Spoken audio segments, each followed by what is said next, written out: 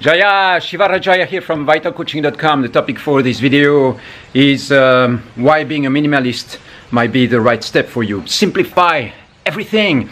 Ah, uh, yeah. Are you a minimalist? Are you somebody who travels a lot, moves a lot, and uh, you manage to reduce what you own to the absolute minimum? Does it fit in a backpack or in a couple of suitcases?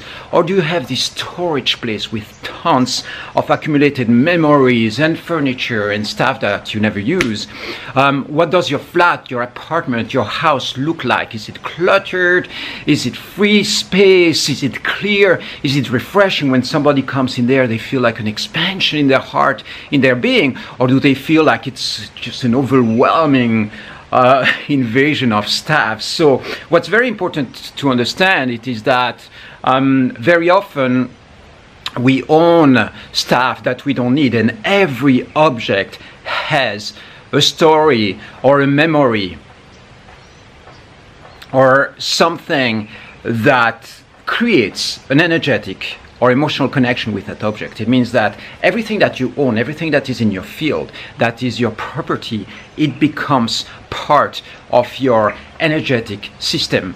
If you want to verify that, simply um, you know imagine what happens when somebody takes something that you own and breaks it or throws it away or, or burns it. You know there is like an emotional connection or an emotional reaction that is going to happen in your field because precisely you are emotionally connected or linked. It's your property it's your field. So all these things that you own create a network of energy or a network of emotional roots that you know limit your freedom. What happens when you minimalize everything? When you when you can reduce what you own to a small backpack or a small suitcase you know and this is all you have and you are able to function and you are able to work, this gives you a tremendous amount of mobility and changes your system and your field from being a little bit like a tree locked somewhere with deep roots to being like a bird who can go and fly around.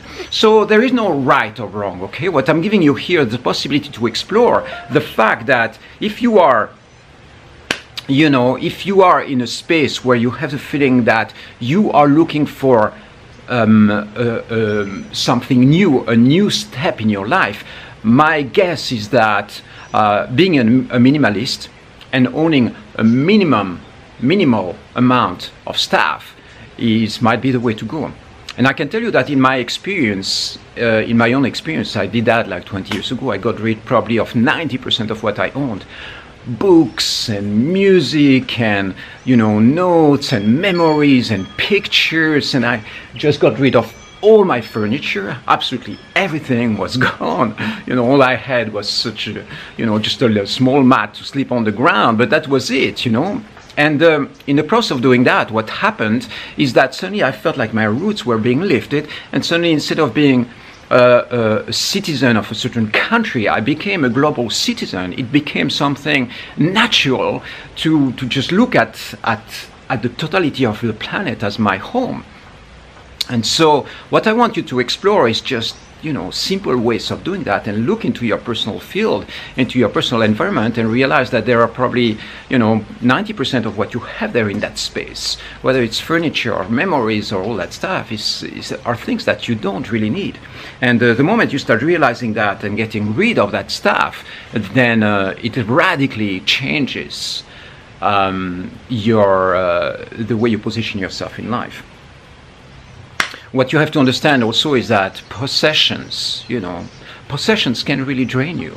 When you go to a shop on Saturday afternoon and you, you buy a new pair of, of trousers or you know anything a new piece of furniture for the house and you bring that back home what do you think it's doing to your system it's like there was money and then it's transformed into this thing that becomes a static piece of of element of something solid in your field that you can no longer easily move around and is, is tacked in a certain form or a certain shape.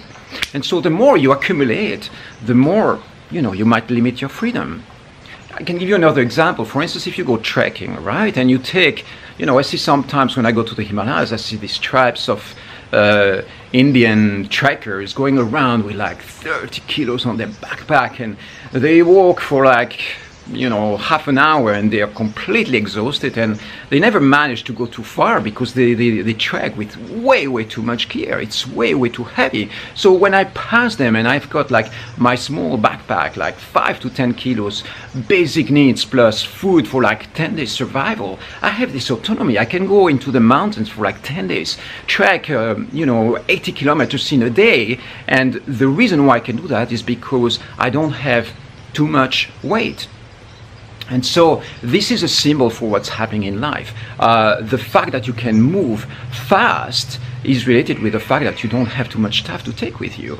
Um, you know, right now we are here in Bali and the volcano just erupted over the weekend. If you didn't hear about it, well, this is what is going on, and it's pretty. Um, you know it's pretty impressive but that means that sometimes because of the survival need you know you might have to get out really, really fast. And so, what do you need for surviving? What do you need to take with you? And if what you can, what you need for survival is just, you know, limited within a small backpack, then it gives you a tremendous sense of freedom and ease and clarity. And so, yeah, just consider it. It's a lifestyle. Okay, I come from a tradition which is when I went back to India to the Himalayas, I realized, my God, I'm a sadhu. I'm I'm doing this this within a, a, modern lifestyle, but basically everything in me is aspiring towards nomadic lifestyle and moving a lot. Right now, I'm, i have been here in Bali for an extended period of time, which has been kind of an unusual aspect of my life. But basically, the the, the, the, the move and the ease in this move and, and the ability to survive in any kind of environment, this has been in my field a lot. So if you look around in, in this house, what I need to take with me uh, if I have to leave, take off, well, fits into two bags after you know a few years of being here, and uh, half half of that what I own is uh, staff gear that I need if I go into high mountain environment or natural environment. So it's survival gear that basically will help me su- survive. But basically, you know, I don't have books, I don't have furniture, I don't have memories, I don't have anything that is solid. You know, everything that I need is you know, to be able to function is in this tablet. I have a laptop still, and I have the camera on which I'm recording right now. But basically, all that is, you know, a really small volume of things. And so that gives me speed, it gives me freshness, it gives me actualization as well, because when you accumulate um, you know, memories, what happens is that your life becomes a little bit like a museum. Uh, if you have pictures and books and things from your, your childhood and things from uh, you know, from 20 years ago, from past relationships and so on, what happens is that your life tends to be uh, anchored very much into the past. And, you know, there's nothing wrong with that. It's part of your culture. If you want to keep that into your field, that's fine. But that creates uh, an anchoring process in your mind where all the neural pathways and everything that is happening in your field is going to is going to tend to be a little bit more anchored into your past rather than into your future as an open potential. So when you get rid of that stuff, guess what happens? There is there is just free energy. Free energy that you can invest into your future and invest into into new things. So it's important to understand that when you get rid of stuff, there is a sense of speed, there is a sense of freshness, there is a, a, sense of freedom, a sense of actualization, because suddenly you are much more in the present moment rather than being stacked in memories and stacked into, uh, into the past. And um, what it does as well is that it simplifies absolutely everything. So this decluttering process, you know, you can apply it to different aspects of your of your life. Sometimes it's just a physical object. Sometimes it's happening within your virtual reality. You know, you have files and files and hard disks of of memories and stuff that you that you never need and you just keep them accumulating so sometimes this cluttering is happening on the virtual level as well you know in the form of pictures and memories messages you know you might have thousands and thousands of emails from the past and this stays in your field. The reason why it stays in your field is because there is a sense of energetic attachment to this stuff.